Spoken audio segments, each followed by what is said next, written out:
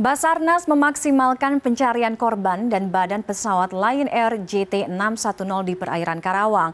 Selain menggunakan puluhan kapal serta helikopter untuk pencarian di permukaan, Basarnas juga menggunakan berbagai teknologi pencarian bawah laut. Kita lihat sedikitnya ada empat kapal seperti yang Anda lihat, empat kapal dengan peralatan deteksi bawah laut yang telah dikerahkan. Nah, peralatan deteksi laut yang digunakan ini di antaranya adalah multi-beam eco sounder atau MBES, kemudian side scan sonar, kemudian remotely operated underwater vehicle atau ROV dan juga ping locator. Kita akan ulas satu persatu.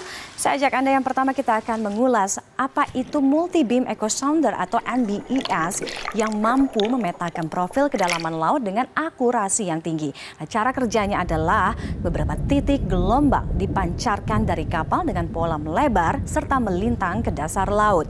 Setiap titik gelombang akan mencapai satu titik kedalaman. Ketika data semua titik itu dihubungkan akan membentuk profil dasar laut. Ketika kapal bergerak, maka sapuan gelombang juga akan menghasilkan data berupa satu luasan permukaan dasar laut. Kemudian berikutnya, teknologi berikutnya adalah side scan sonar. Alat ini memanfaatkan gelombang akustik atau getaran mekanis dari benda-benda yang berada di bawah laut. Nah, SSS atau Triple S ini mampu membedakan besar serta kecilnya benda di permukaan dasar laut, misalnya batuan, kemudian lumpur, pasir, kerikil, dan benda lainnya dari tinggi rendahnya frekuensi gelombang akustiknya. Nah, SSS menghasilkan gambar dua dimensi yang bisa kita tonton, yang membuat kita juga bisa menyaksikan bagaimana gambaran dari permukaan dasar laut. Kemudian berikutnya, teknologi berikutnya adalah ROV atau Remotely Operated Underwater Vehicle.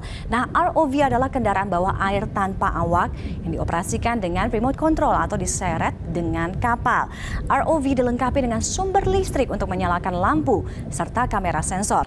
ROV biasanya ditempel dengan berbagai peralatan tambahan seperti lengan untuk memotong benda dan instrumen pengukur lainnya. Video dan data yang diperoleh ROV dikirim lewat kabel listrik ke operator, demikian juga sebaliknya. Berikutnya adalah TPL atau yang mungkin lebih akrab atau lebih dikenal dengan nama ping locator. Alat ini bekerja dengan cara mendeteksi lokasi CVR atau cockpit voice recorders atau dan juga FDR maksud saya atau flight data recorder dari black box pesawat. Nah, black box memancarkan suara berfrekuensi rendah dengan radius beberapa meter yang bisa didengar oleh ping locator. Kedalaman maksimum yang bisa ditemukan adalah 6100 meter. Sejumlah kapal yang menggunakan teknologi deteksi ini diharapkan mampu menemukan jenazah korban dan bangkai kapal dari Lion Air JT610 pesawat jatuh di perairan Karawang pada hari Senin kemarin. Dari pencarian sejauh ini telah diperoleh sejumlah puing pesawat, barang milik korban, bagian tubuh serta bagian dari black box yang diduga sebagai flight data recorder.